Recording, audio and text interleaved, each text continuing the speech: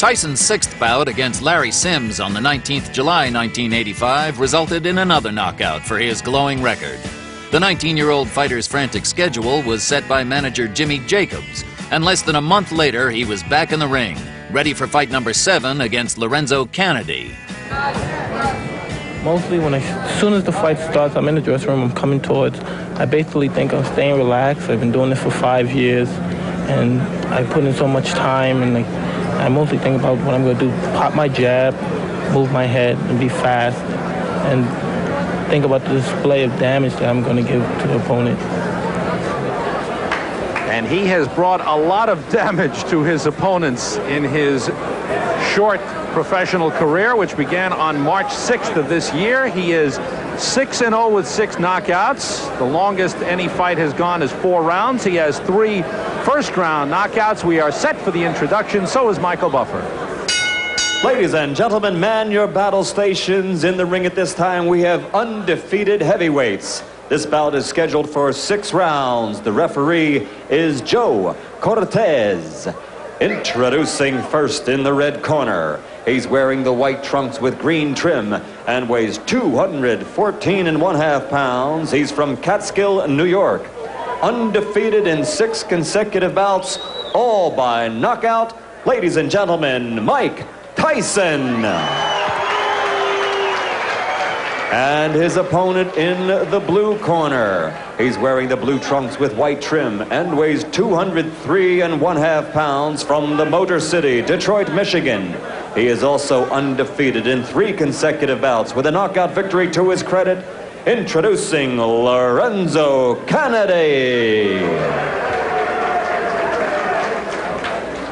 Both familiar with the New Jersey Athletic Commission rules. I'm here to enforce them. When I say break, I want you both to break clean. If there's a knockdown, the fighter scoring a knockdown, let's go to the farthest neutral corner, remain until they come out. Fighter going down, let's take the mandatory eight count. I don't want any rough tactics, and I don't want any fouling or hitting on the break. Understood? All right, shake hands, protect yourselves at all times. Mike Tyson, last fight was July 19th when he knocked out Larry Sims in Poughkeepsie, New York in the third round. Lorenzo Canady. last fight, uh, a six-round decision victory on July 25th in Birmingham, Michigan over Vernon Bridges. And look at Tyson go right after Canady. Now, Canady is a boxer, but gets knocked down with the first left hook he takes. Look at the power already from Mike Tyson. Mandatory eight count. Seven. Given by Joe Cortez. Canady, little shaky now, takes a right hand. This one could end in a hurry. Canady in serious trouble. Now, this is the prototype of Mike Tyson's fights. He comes right at you, and boy, he is blazing when he comes out. Is he intimidating? When you see big Mike Tyson come for you, you better head in the other direction in a hurry. Right hand glances off the chin, but it rocked Canady. The left hook does it the same.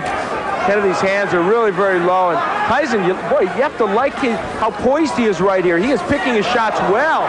He is This hurting. one could be over. He's, it is. Joe Cortez stops it. Perfect timing by Joe Cortez. That was right when he saw that last right hand land. He could just feel the fact that Canady would be sagging to the canvas. Boy, Mike Tyson is powerful, huh? Oh, wow. Mike Tyson, he barely built up a sweat.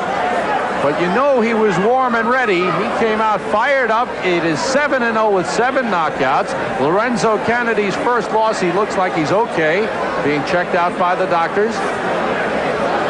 As Al said, he was sagging against the ropes. He was in serious trouble, taking the punishment, and Joe Cortez quickly stepping in and stopping the fight, knowing there's no sense in giving him a standing eight count or anything like that. This one was over. Let's take a peek at the first knockdown. This was, as you said, Sam, the first good left hook that Tyson landed. He dips under, throws this left hook. That's a nice move. Is that a Joe Frazier left It hook? really is. And you know what's so nice about that was the way the old Dipsy Doodle. He went under and then came with a really good left hook.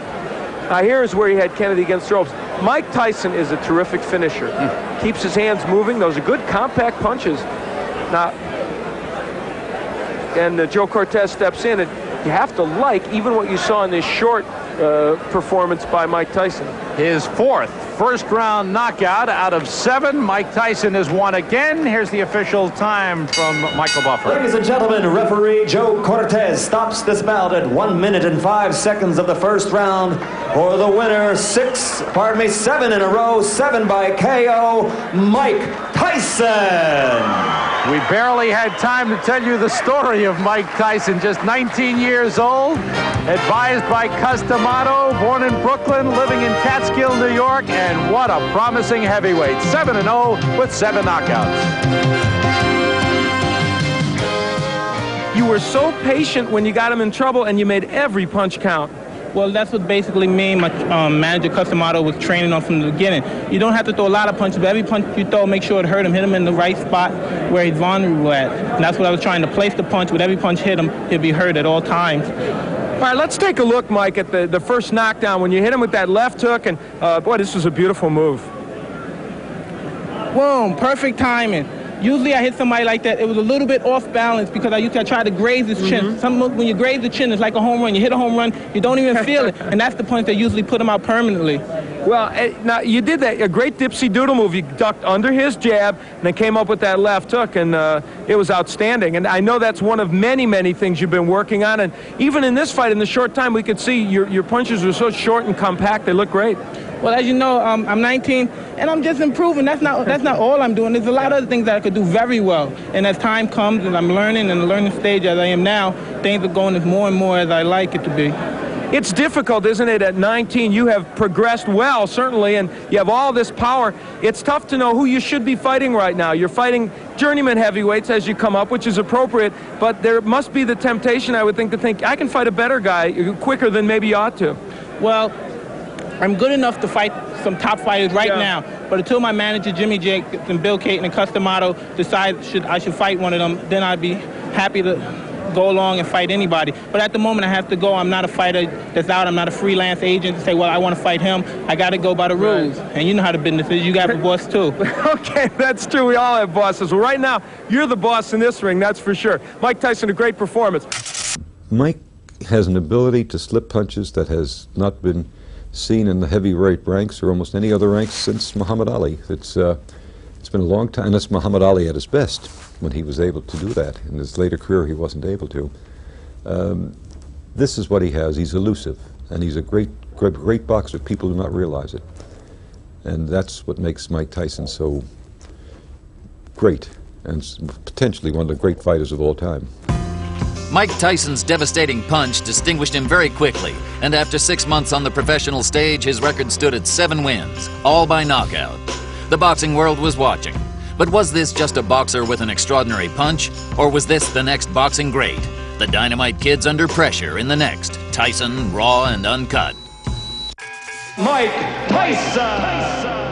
I believe he will be the youngest heavyweight champion of all time. All time.